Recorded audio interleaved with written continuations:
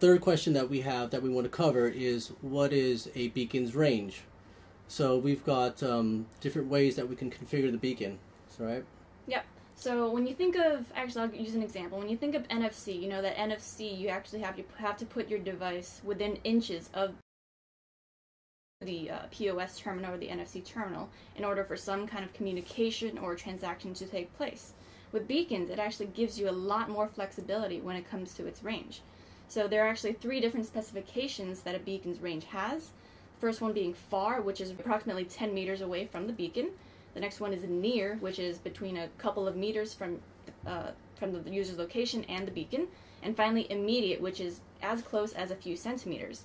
Now, these three different specifications allow users to receive different messages based on their location to that beacon. So, for example, if I'm standing at a far distance from the beacon, I could receive a certain message. If somebody else is nearer to that one beacon, they might receive an entirely different message, and somebody who is standing right next to the beacon within a few centimeters or inches could receive a completely different message on their own. Hmm. So the fact that you can have one beacon and it can be programmed to send three different kinds of messages to users based on their location is actually very powerful. Now, because that because beacons can actually run on radio signals, it can affect the maximum range of your beacon.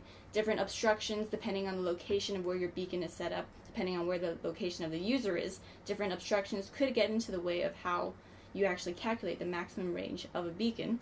But and you can't actually pinpoint the fact that a person is exactly 15 meters away or that they're 4 meters away. It's always just an approximation based on their range.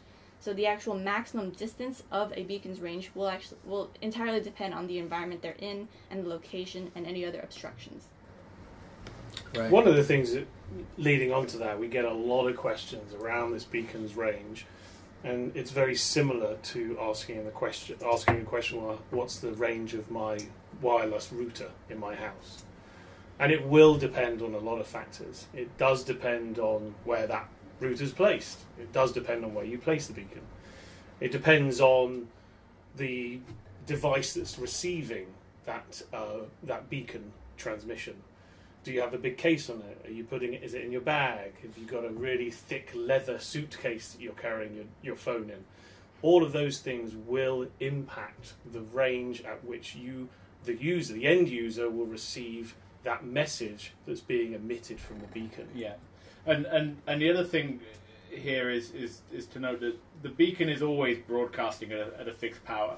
Um, if you're lucky, you may be able to hear it from 70 meters away. Um, but um, in a, a, normal indoor environment, around 30 to 40 meters is uh, uh, is is a reasonable range to to assume from a from a smaller battery powered beacon. Uh, if it's mains powered um, or USB, it could be slightly it could be slightly more. Um, but then it's up to you what you do with that proximity.